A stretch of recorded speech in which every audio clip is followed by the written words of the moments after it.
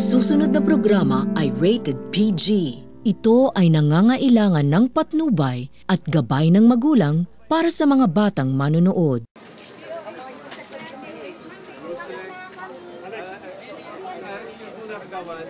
Kabayan, atras ng konti.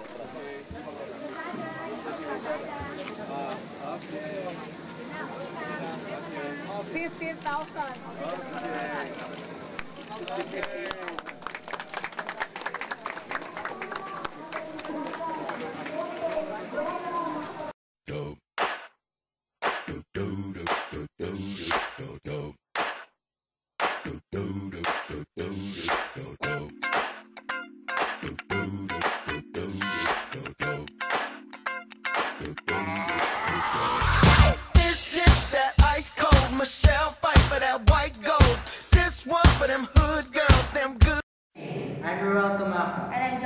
We are here to talk about, Botika ng Barangay makes drugs accessible to all Filipinos. but first of all, what is Botica ng Barangay? Botika ng Barangay, or BNB, is a drug outlet launched by Arroyo in the year 2001. It is managed by community organization, non-government organization, and local government unit with a trained operator and a pharmacist. Should the license by BFAD, identified and evaluated by CHD or Center for Health Development, located in communities or insurgent areas. It ensures low price generic OTC drugs and RX drugs or prescription drugs. The objectives of Botica ng Barangay are as follows. First, improve equity of health by ensuring the accessibility and availability of affordable, safe and effective quality drugs. Second, integration of all BNBs or Botica ng Barangays, wherein they will have a harmonized standards of service. And lastly, is to enhance and define the roles and responsibilities of Department of Health units. Now that we know something about Botica ng Barangay and its objectives, Let us analyze what are the positive and negative sides of Botika ng Barangay. as of the latest census from January 2012, there are 14,321 outlets, a long way from the 427 outlets last 2003. It covers half of the total number of barangays along the country. Implementation and non-conflicting priorities. In selected regions nationwide, the number of hospital and healthcare centers are synonymously congruent with the number of Botica ng Barangay outlets.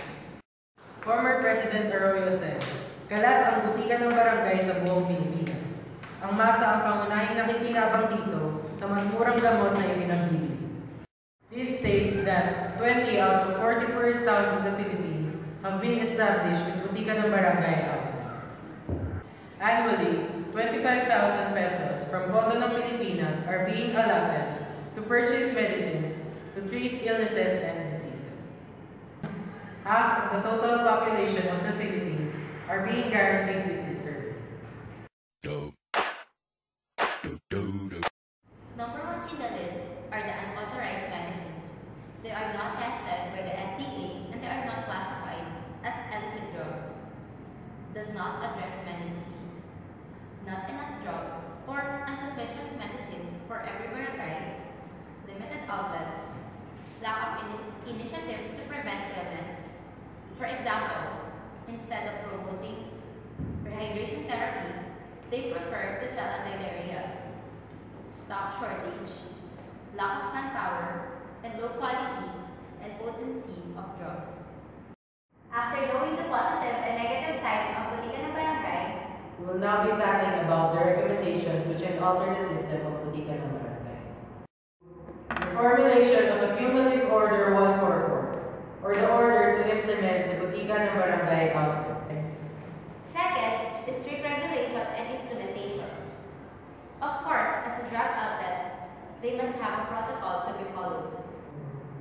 Third, relegation of outlets. As to what have been stated earlier, only selected areas nationwide are being given the privilege of service of Botika ng Barangay. Fourth, increase the number of outlets in poor areas, such as the ARMM or the Autonomous Region of Muslim Mindanao. Recent reports have stated that there are no Botika ng Barangay in Basilan, Sulu, Lanao del Sur, and Tawi-Tawi. Lastly, to increase the budget allocation to enough drugs. Many concerned citizens have been stating that 25,000 pesos allotment from Pondo ng Pilipinas are not enough to purchase medicines.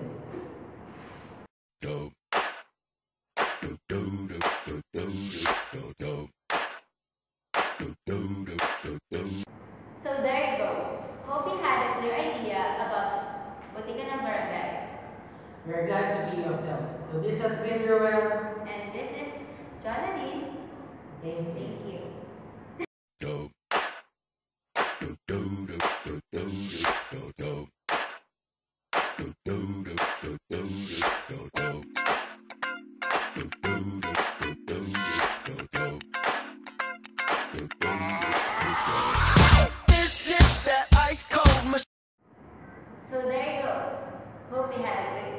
Yeah. but we had a clear idea about... Uy, clear dapat yung words. Um, clear idea. So there you go. Hope you had a clear